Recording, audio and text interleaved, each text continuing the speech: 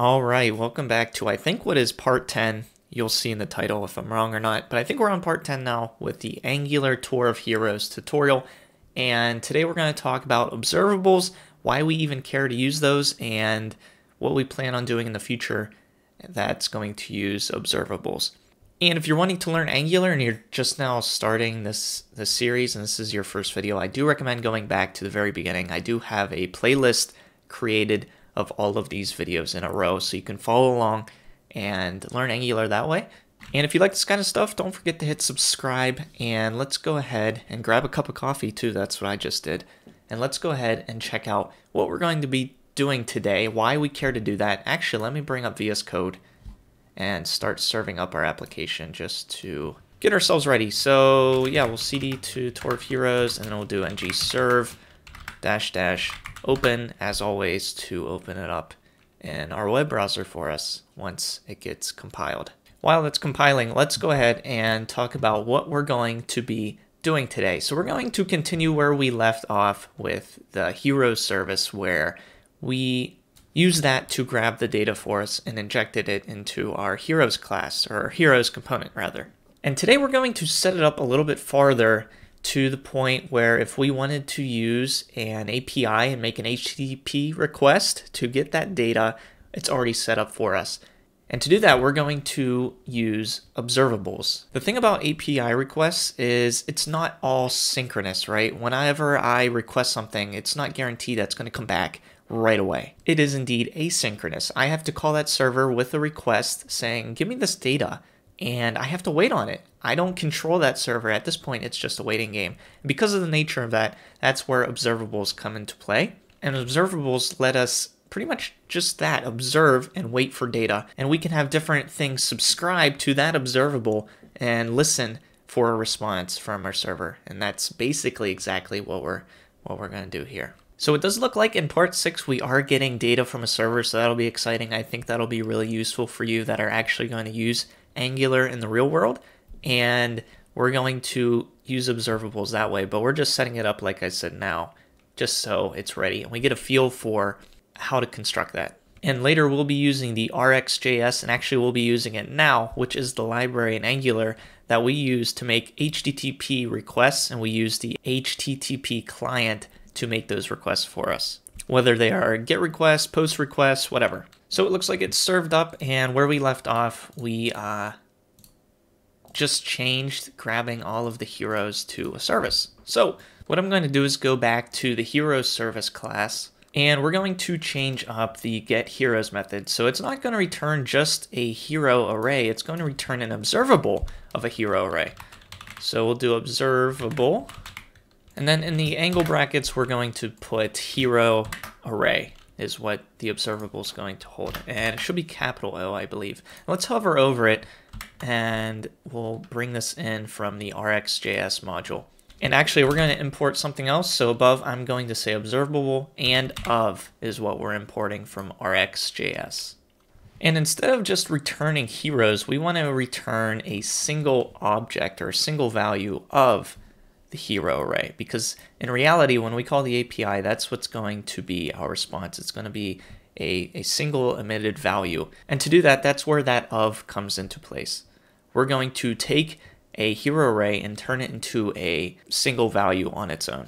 So let's make a value const heroes and set it equal to of and then the heroes array. This one right here so now instead of just a basic heroes array, a bunch of different heroes values, it's a single value heroes array. And then we're going to return heroes. So when we do the API call in the future, what we'll actually end up doing is we'll inject the HTTP client in the constructor, and then we'll do something like uh, heroes will be equal to, or maybe even return HTTP client.get, and then our URL and all that good stuff. But for now, we're going to continue to use the mock heroes, and that's why we have to use this of to make it kind of simulated as if we are getting it from an API. It returns the same kind of values that an API would return. Okay, so now that I saved, you can see that type observable is missing the following properties from type hero. And our heroes component is now failing to build. And this is because now that it's returning an observable, we have to subscribe when we want to receive the values because when we call an API, we want to subscribe or listen in for those values to come in and then do something with those values. So here we're going to kind of start out the same way, this dot hero service dot get heroes, and you can continue to write this all in one line, but maybe it's best practice to continue on the next line and then do dot subscribe, meaning we're going to subscribe to this and then do something with the data, like I said, as it comes in. And this is where you could do a lambda expression. I use X, but you can use whatever, you know, kind of alias you want to use. In the tutorial, they use heroes, and then they say this dot heroes is equal to heroes. I think that becomes a little jumbled. Um, so I'm just going to use X so it's easier to differentiate. And then whatever we bring in, X, this dot heroes, so this value right here is going to be set equal to X, the value that comes in when we subscribe. And if we wanted to do a bunch of different things when the values come in, we can do it in a way like this. So we're going to have open and closed curly braces, and then we can do something like console.log, so we can log what is the value of x that it comes into. And then also, then we can do the this.heroes is equal to x. And you can do multiple things um, when that value comes in. So I did a little bit differently than the tutorial. They don't do this part, but I think you know, it might be good practice to debug and make sure that what you get in is what you expect. So now you can see it compiled successfully after I saved, and let's bring this back up. Okay, and it looks like everything's good because we have all of our heroes here. And if I hit F12, here's that array that came in. And if we expand it, we can see all of the different, or all the different objects in that array that came in when we subscribe to that method. And everything looks good, and as you expect, when I click on it, the details pop up for it. So in the end, what did we accomplish? We accomplished getting this ready to make API requests in the future to get our data. And this is a big step. Once you get this down, um, it should be pretty downhill once, I mean, you just have to get the URL, what kind of request you're making, and that's it. In our case, it's, it's going to be a GET request because we're going to get some kind of data and then display it the same way we have been doing before.